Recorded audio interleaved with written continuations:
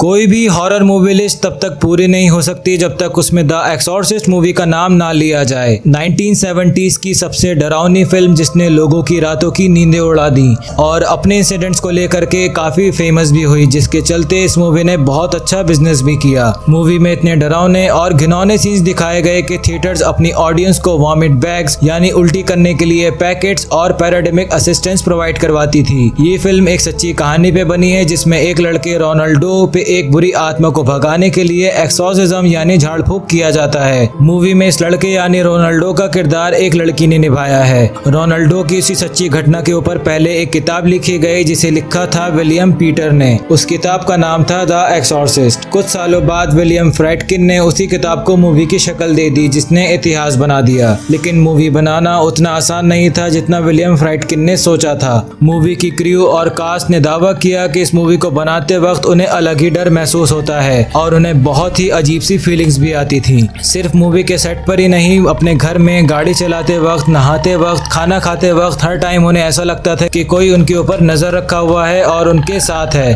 और सिर्फ़ इतना ही नहीं, जो चीज़ उनके ऊपर नज़र रखी हुई थी धीरे धीरे उसने अपना काम करना भी शुरू कर दिया और अपनी मौजूदगी का भी सबूत दे दिया। एक दिन अचानक पूरे सेट पे आग लग गई और सब कुछ जल करके राख हो गया। सिर्फ़ रेगन्स के रूम को छोड़ के, जहाँ ज़्यादातर एक्सोसिज्म के सीन शूट किए गए थे। उस रूम को एक भी आँच नहीं आई। इस बिला वजह की आग के चलते शूटिंग को पूरे छह हफ़्ते के लिए डिले कर दिया गया। वहीं मूवी का एक सीन फिल्माते वक्त एलन बस्टिन की रीढ़ की हड्डी परमानेंटली जख्मी हो गई। मूवी में एक सीन है जहाँ एलन को हार्नेस की मदद से ऊपर खींचा जाता है, लेकिन हार्नेस के खराब होने की वजह से एलन काफ़ी तेज़ी से ऊपर की तरफ़ पुल हो जाती हैं और उतनी ऊंचाई से वो गिर भी जाती हैं, जिसके चलते उनका स्पाइन परमानेंटली इंजर्ड हो जाता है। उस सीन में आपने एलन की जो चीख सुनी होगी, वो असली है।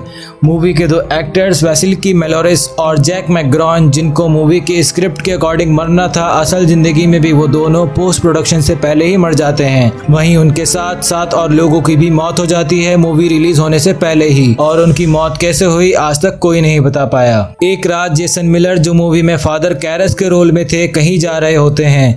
तभी उन्हें रास्ते में एक प्रीस्ट मिलता है, जो उन्हें रोक कर बोलता है, शैतान का असली चेहरा सामने लाना इतना आसान नहीं। वो तुम्हें नुकसान पहुंचाएगा और तुम्हें रोकेगा, पर तुम्हें अपना काम करते रहना है। जब मूवी बनकर तैयार हो गई तो रोम में इस मूवी की स्क्रीनिंग रखी गई। उस दिन काफ़ी ज़्यादा बारिश हो रही थी और बिजली भी कड़क रही थी। जिस थिएटर में मूवी दिखाई जा रही थी, उस थिएटर के आसपास दो चर्चेज भी थे, जिसमें से एक चर्च पे बिजली गिर गई और उस पे लगा 400 साल पुराना क्रॉस साइन भी टूट के थिएटर के सामने आ गिरा। मूवी के स्क्रीनिंग वाले दिन ही बारिश हो जाना और बिजली का चर्च पे गिरना साफ़ दिखाता है कि ये मूवी कितनी ज़्यादा शापित थी। सो गाइज़ ये थे कुछ रियल इंसिडेंट जो हुए द एक्सोर्सिस्ट मूवी के साथ। इससे पहले मैं दो वीडियोस भी बना चुका हूँ। The Exorcism of Emily Rose और द ओमन मूवी को लेकर के उनके साथ क्या क्या चीज़ें हुई। अगर आप वो वीडियो देखना चाहते हो तो उनका लिंक मैंने डिस्क्रिप्शन में दे दिया है। बहुत ही इंटरेस्टिंग वीडियो है। आपको ज़रूर पसंद आएगा। उसके अलावा अगर आपको ये वीडियो भी अच्छा लगा हो तो लाइक कर दो। और चैनल पे नहीं थे तो चैनल को सब्सक्राइब करना मत भूलना। और ऐसी वीडियोस आप सबके लिए मैं लाता रहूँगा इन फ्यूचर